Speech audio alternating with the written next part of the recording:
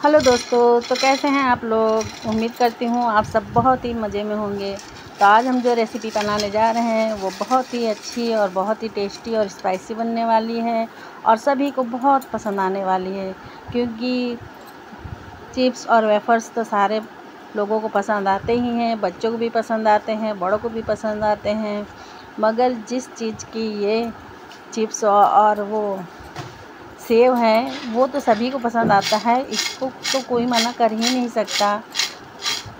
ये इतने टेस्टी होते हैं कि इनके सामने सारे सेव, वेफर्स और चिप्स सब इसके सामने फीके पड़ जाते हैं। और घर का बना हो तो बात ही क्या है?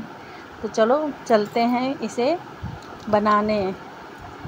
बहुत ही किस क्रिस्पी और टेस्टी और स्पाइसी ये बनकर तैयार हो जाएँगे और आप वीडियो देखेंगे तो आपको बिल्कुल निराश नहीं होगा कि आपने इसे देखा और आप बहुत ही खुश हो जाएँगे इसको देखकर। तो उसके लिए हम ले लेंगे तीन केले। आप चाहें तो एक केले से भी बना सकते हैं, क्योंकि अगर पहली बार बना रहे हैं तो आपको ऐसा लगता है कि आपसे बनेगा कि नहीं बनेगा, मगर आप मेरे टिप्स फॉलो करेंगे तो आपका भी बहुत ही अच्छा और मेरी तरह ही एकदम अच्छा सा बनकर तैयार हो जाएगा। तो कच्चे तो केले लेने ही हैं हमें, लेकिन एकदम अच्छे केले लेने हैं तो उसको हम पहले धो लेंगे, धोने के बाद उसे हम पोंछ लेंगे और पोंछने के बाद इसे हम कट करेंगे। तो देखिए, जो केले के पार्ट्स होते हैं, वो हमको दिखाई देते हैं। अगर हम उसी पे कट का निशान लगाएँगे चाकू से तो ये आसानी से इसका छिलका उतर जाता है और हम कहीं और से इसमें कट का निशान लगाएँगे तो ये आसानी से नहीं निकलता है। तो देखिए, हमने जब केले के निशान पे इसे कट किया तो ये देखिए, जब हमने उसमें चाकू को इस तरह से डाला तो ये देखिए, एकदम आसानी से इसका छिलका निकल गया। तो इसमें छिलका मतलब उसमें रहने की कोई गुंजाइश नहीं रह जाती है। पूरा उसका छिलका एकदम अच्छे से निकल जाता है केले का और केला वेस्ट भी नहीं होता है। तो हमें इसी तरह से कभी भी छिलके को अगर निकालना है तो निकाल लें। अगर आपसे इस तरह नहीं हो रहा है तो इस तरह से चाकू की मदद से हम इसे जिस तरह से आलू छीलते हैं उस तरह से भी हम कट करके इसे निकाल सकते हैं। तो इस तरह से भी हमारा कट होकर निकल जाएगा। तो हम बनाएँगे इसे जब तक, तब तलक के लिए इसे हम तीनों को पहले छील लेंगे, उसके बाद इसे हम साफ़ पानी में डाल देंगे। क्योंकि जब हम इसे बनाएँगे, तब तक ये है ना, काला हो जाता है। तो काला ना हो, इसके लिए हम इसे पानी में डाल देंगे। तो पानी में जब डालेंगे इसे तो जब इसे हम बनाने लगेंगे, उस टाइम पे हम इसमें से एक केला लेंगे और उसे एकदम अच्छे से किसी कपड़े से अच्छी तरह से पहले उसे पोछ लेंगे। तो वो प्रोसेस करने से पहले हम थोड़ा सा तेल कढ़ाई में चढ़ा देते हैं और तेल को हमें तेज़ आँच पे नहीं करना है। हम इसे धीमे आँच पे पहले चढ़ाकर गरम होने देंगे और उसके बाद ही हम बना लेंगे पानी। तो पानी बनाने के लिए हमें क्या करना है? एक कटोरी लेंगे हम और एक कटोरी में हम डालेंगे आधी कटोरी तक हम इसमें पानी ले लेंगे। तो साफ़ पानी लेना है, पीने वाला ही पानी लेंगे हम इसमें। तो पानी लेने के पहले इसमें हम डालेंगे आधा चम्मच के करीब हल्दी पाउडर और आधा चम्मच के करीब हम इसमें नमक डालेंगे और उसके बाद उसमें आधी कटोरी पानी डालेंगे और इसे एकदम अच्छी तरह से मिक्स कर लें ताकि पानी में नमक और हल्दी एकदम अच्छी तरह से घुल जाए और एकदम अच्छी तरह से उसका अर्क भी निकल जाए। अब हमने केले को निकाल लेना है पानी में से और उसे एक अच्छे और साफ़ कपड़े से पोंछ लेंगे। तो देखो, पहले हम जो कद्दूकस होता है तो उसमें चिप्स बनाने वाला होता है तो उसमें न बनाकर हम इसको जो कद्दूकस करने वाला होता है, उसके अंदर हम इसे बनाएँगे। तो हम इस तरह से जब बनाएँगे तो किसी के पास जैसे बड़ा कद्दूकस के हॉल वाला होता है तो बड़े बड़े स्लाइसेस निकलते हैं। अगर आपके पास बड़ा होल वाला नहीं है तो आप इसे, जिससे अदरक कद्दूकस करते हैं, उससे भी आप बना सकते हैं, वह भी बहुत अच्छे ही बनते हैं। तो मेरे पास थोड़ा बड़ा हॉल वाला है तो उसी से मैं इसको निकाल रही हूँ।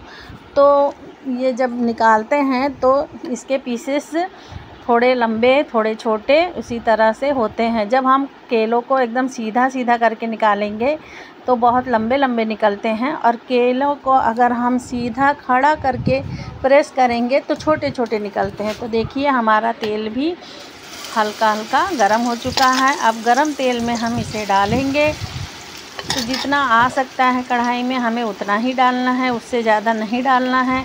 और डालने से पहले हमें गैस को धीमा कर देनी है। गैस धीमा कर देंगे और इसे डालेंगे तो ये एकदम अच्छे और कुरकुरे बनेंगे, क्रिस्पी बनेंगे और उसके बाद हम इसे चम्मच से अलग अलग कर लेंगे। तो हमें इसमें कॉर्नफ्लोर और चावल का आटा ऐसा कुछ भी नहीं मिलाना है। सिर्फ़ केला होना चाहिए और कद्दूकस किया हुआ होना चाहिए। बस उसे ही हम इसे तेल में डालेंगे और धीमी आँच पे इसे पकने देंगे।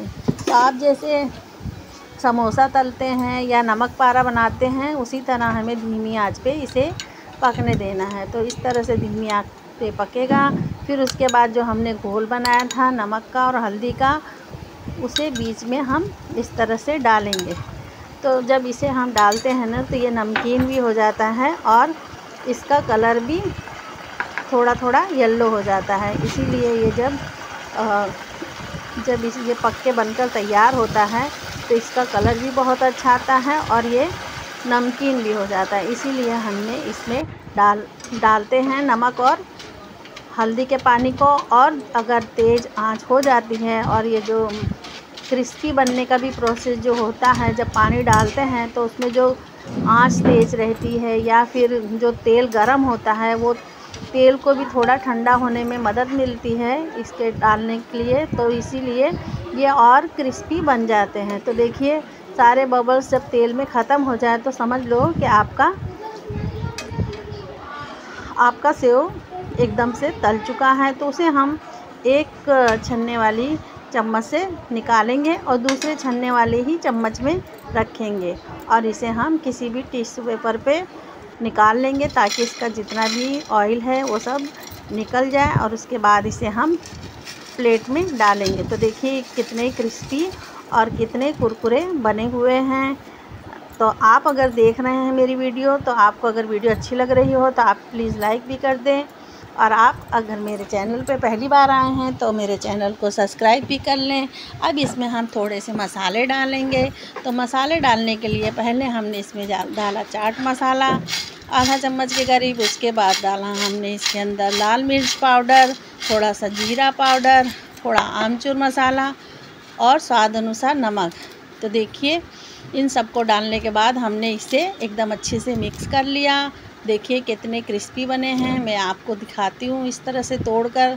और ये देखिए कितने उससे टूट रहे हैं आपको खुद ही दिख रहा होगा कि ये कितने अच्छे और क्रिस्पी बने हैं। आप भी मेरी तरह बनाएँगे तो आपके भी पहली बार में ही बहुत ही क्रिस्पी और अच्छे बनेंगे। तो वीडियो अच्छी लगी हो तो लाइक कमेंट्स हँसते हँसते कट जाए रस्ते ज़िंदगी यूँ खुशी मिले या गम बदलेंगे ना हम। दुनिया चाहे बदलती रहे, हँसते हँसते कट जाए रसते। ज़िंदगी यूँ ही चलती रहे खुशी मिले या गम बदलेंगे ना हम। दुनिया चाहे आप भी इसी तरह बनाएँ, खाएँ और इंजॉय करें। वीडियो अच्छी लगी हो तो लाइक ज़रूर कर दें। और इसी तरह अच्छी अच्छी वीडियोस देखने के लिए आप मेरे चैनल पर जा सकते हैं। आपको वहाँ बहुत अच्छी अच्छी रेसिपीज़ मिलेगी। Thank you bye